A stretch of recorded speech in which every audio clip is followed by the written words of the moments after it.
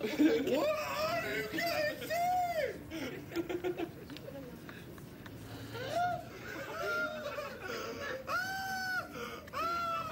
The disturbing effects of salvia and other legal highs can be found easily on YouTube and other video sharing websites. Due to this rise in popularity and profile of legal highs and the controversy around drugs such as salvia and piperazine, I thought I'd try and find out how easy they are to get hold of and also what controls are in place to regulate their use. Salvia and other herbal drugs are incredibly popular, and the legal high industry is worth millions worldwide. Britain is seen as a hub for these drugs, not only in head shops but also online. So I've just taken a walk up Camden High Street here in North London, and uh, I've come back with a whole range of legal highs. They include everything from the organic extracts of salvia, which we've seen having effects on people earlier, and this one, which is a this is piperazine in a, in a capsule with some caffeine. It's labelled Super E. So there's a whole range of things. Now we've seen what this stuff can do to you. So how are shopkeepers able to sell you this stuff legally? Well, speaking to them, it's interesting the number of legal loopholes they jump through. For example, the salvia here is uh, quite clearly has a description on the back of who uses this stuff and how there's a spiritual law about Mexican Indians. But at the right at the bottom, it actually just says not for human consumption. So it's a, it's a toy effectively. And it's the same with the piperazine. This actually it says on the back here, novelty plant food only, not for human consumption. So essentially, once you take it out of the shops, it's up to you what you do with it. You can put it on your plants, you can just have it as a bit of novelty plant extract, or you can take it as a drug. Having bought all that so easily, I wanted to find out more about how we classify drugs in Britain.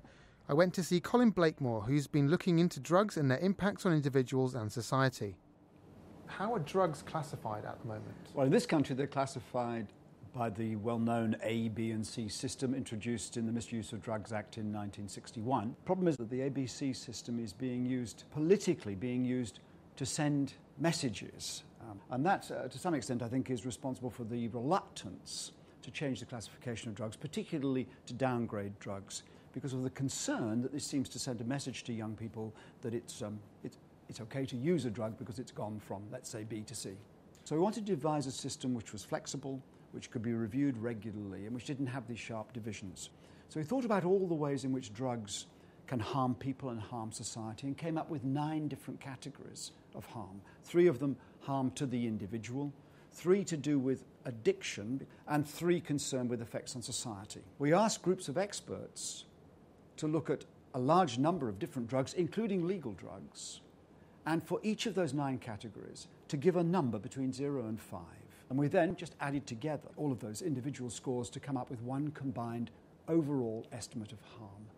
That then allowed us to rank the drugs from heroin and cocaine at the very top down to ecstasy and LSD at the bottom, with alcohol and tobacco quite high up on that range. Would you place the legally available drugs on this scale as well? There would be merit in extending the classification if something like our system were adopted to, to all drugs with that, are, that are abused, that have psychoactive um, actions. Uh, and indeed, the ranking that was produced for such legal drugs might be a guide as to when it was considered serious enough that those drugs should be made illegal. To classify or evaluate a drug like salvia, we need to know what's in it. At St George's Hospital, I met John Ramsey. He's one of the people behind TICTAC, a database for the visual identification of drugs.